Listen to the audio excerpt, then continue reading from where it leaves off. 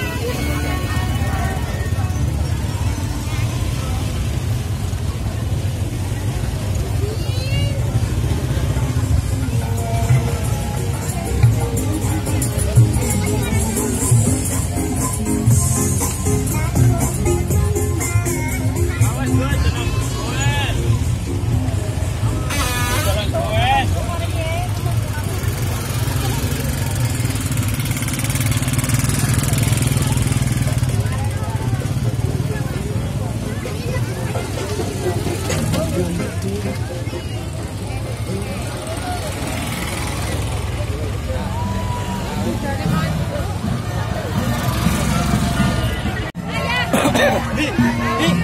你。